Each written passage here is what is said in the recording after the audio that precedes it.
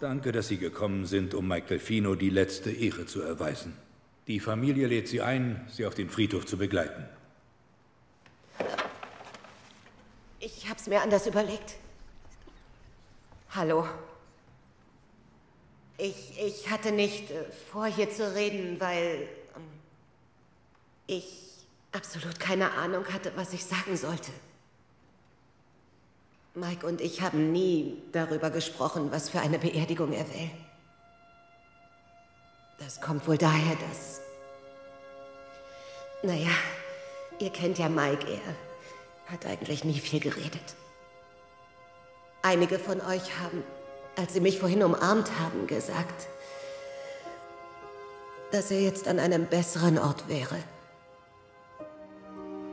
Und wisst ihr was? Gerade ist mir klar geworden, dass es so ist. Er sitzt in einem Restaurant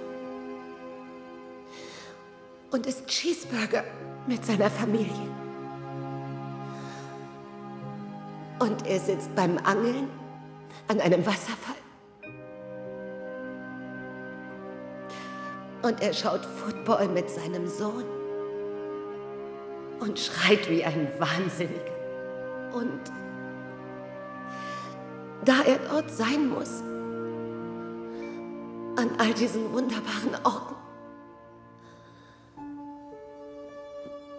muss ich ihm jetzt also für immer Lebewohl sagen.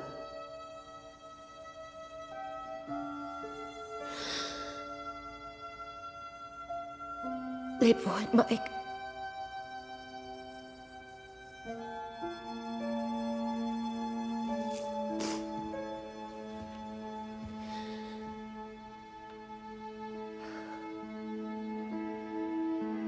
Einmal, zweimal liebe ich dich. Ich. Ich liebe dich mehr als Bienenstich.